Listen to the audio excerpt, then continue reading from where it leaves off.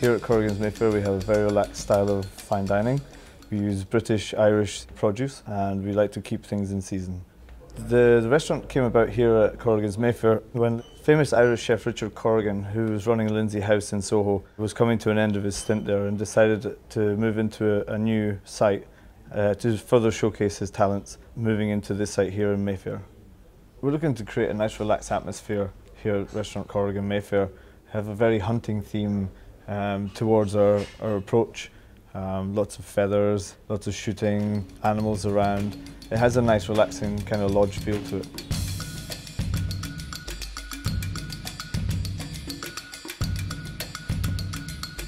I started my career in Edinburgh working under Martin Wishart at Restaurant Martin Wishart in Leith. From then I progressed on to Restaurant Patrick Guilbaud in Dublin where I spent four years working with Guillaume Lebrun.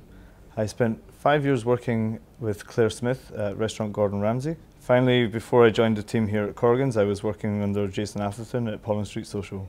When I'm creating dishes for the menu, I like to know what's growing around me.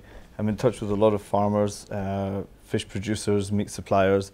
I like to keep things as seasonal as possible. If it's not in season at this time, then it won't be used on the plate. I think it's important when you're selecting your produce to know that it's been grown in the right conditions, especially your, your meat and your fish where they're sourced from, who's supplying you, and to know that the best top quality is being delivered to the restaurant daily. Cooking styles, I like to approach each dish with a individuality. I like to see the produce that I'm about to use and normally experiment in a couple of different processes with the same dish just to see which one's the best. I tend to use a confit, poaching, grilling, small amount of sous vide.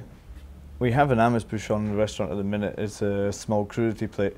It's a standout dish for us here at the restaurant because all of the produce is grown at Virginia Park Lodge, uh, one of Richard Corrigan's farms in Ireland. We have a great team of farmers in Virginia Park Lodge uh, who we deal with on a weekly basis. They are able to grow produce for us, for us plan dishes in advance, and also when the fresh produce arrives to us twice a week, it makes our life so much easier to create new dishes on a weekly basis.